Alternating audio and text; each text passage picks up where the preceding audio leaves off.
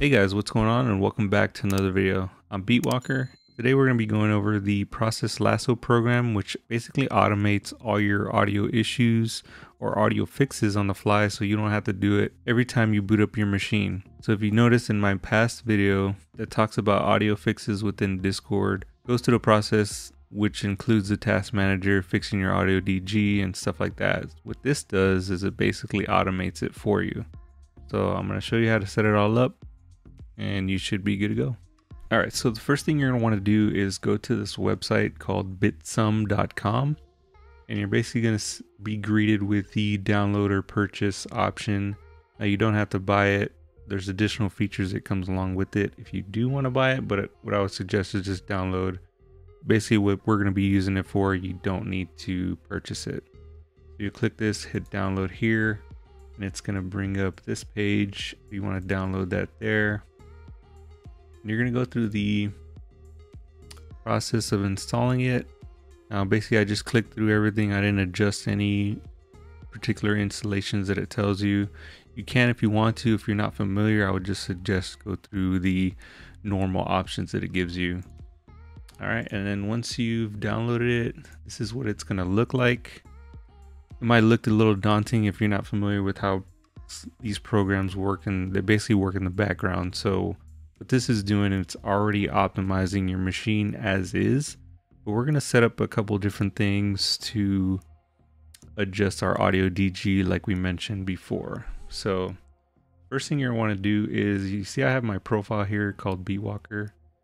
You'll basically want to create your own profile. So just create lasso profile and you can name it whatever you want. I named mine Beatwalker and then you'll be greeted with your profile every time you log into your computer. All right, so once you have your profile set up, uh, the first thing I did was go to this audio DG exe file and set my CPU priority always to high. The default was normal, so you just want to switch that to high.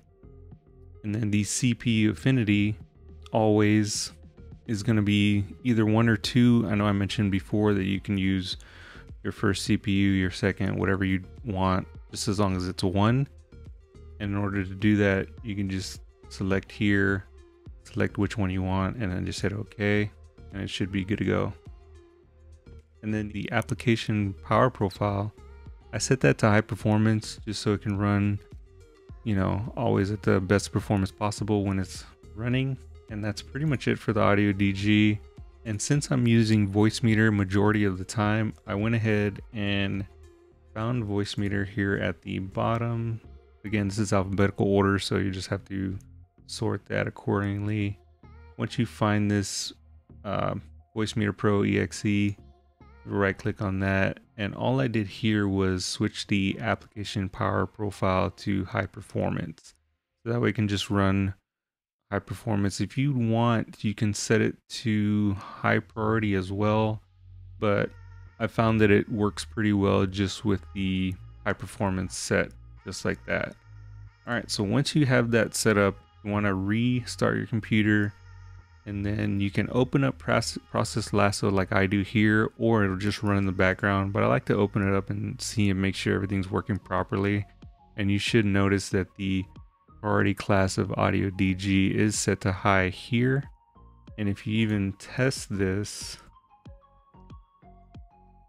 uh, run as administrator like we normally would, details, audio DG, you can actually see that the priority is set to high. Similar to how I showed you how to do before, but instead of doing it every single time you boot up your PC, it's gonna run automatically for you. That way you don't have those Discord crackling issues every single time. And you can go and test it in Discord. I'm not going to do it with this video, but if you want to see how I tested these audio fixes, you can, uh, I'll link my uh, previous video before. And uh, there's some other fixes in there you might want to do before you tap into this one. But anyway, that's pretty much it for this setup. It's pretty simple, super easy to use. I would definitely recommend it instead of having to always change that affinity uh, priority to high. So yeah, if you like stuff like this, be sure to subscribe, like the video. I'm trying to do more videos in the future. I've just been bouncing around with work and stuff like that. But again, my Discord link is below. If you have any questions, feel free to come on in there. Uh, we're trying. I'm trying to build up this community to kind of help people out with your audio issues and stuff like that. So anyway, thanks for watching. I will see you guys on the next one. Later.